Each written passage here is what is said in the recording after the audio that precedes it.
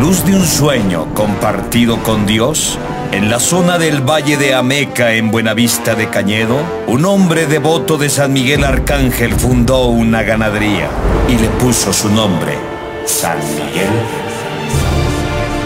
A este hombre, la lucha eterna del jinete dominando a la bestia es a sus ojos un arte, en donde el toro y el jinete dan lo mejor para derribar o no ser derribado, sin trampas, sin ventajas.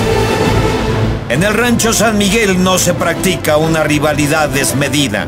Su misión es que sean sus toros, guerreros, capaces de tumbar por sí solos a sus jinetes.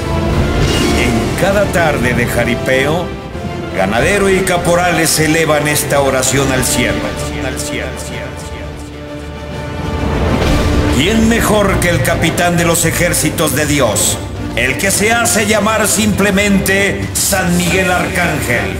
El que reconoce y respeta la potestad del Señor como único Dios para estar a nuestro lado, como capitán y jefe, para dirigirnos, para animarnos y apoyarnos día con día.